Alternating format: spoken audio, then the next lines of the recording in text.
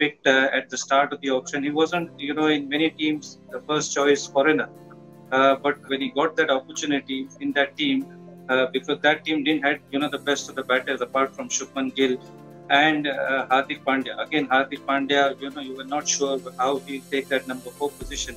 So David Miller, Tewatia, all those, you know, grabbed those opportunities. Wriddhiman Saha as well. I mean, Wriddhiman Saha again was picked on the second day. They didn't pick a wicket keeper in the first day.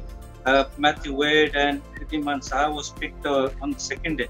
Uh, but they all, these guys, you know, took that opportunity and relished it. And, you know, kind of season they had, and, and that credit has to go to Ashish Nehra, Gary Kirsten, for creating that, you know, atmosphere where they're playing happy, playing with smile.